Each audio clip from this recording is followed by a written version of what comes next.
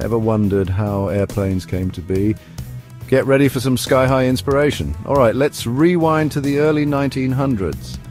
Orville and Wilbur Wright, just two curious brothers, were tinkering with bicycles. One day they noticed how the wind made their bikes wobble so sad. This got them thinking. What if they could harness that wind to make something fly? Their experimentation wasn't just about mechanics, it was about innovation. They designed kites and gliders, learning from every crash and climb. But the real magic happened when they combined their bike knowledge with their flying dreams. In 1903, after countless trials and errors, uh, they finally did it. The Wright brothers took to the skies in their flyer. An accidental observation had sparked a revolution in transportation. So, next time you see an airplane, remember. It all started with two brothers, a gust of wind, and a whole lot of curiosity. Keep dreaming, keep experimenting, and who knows? You might just change the world.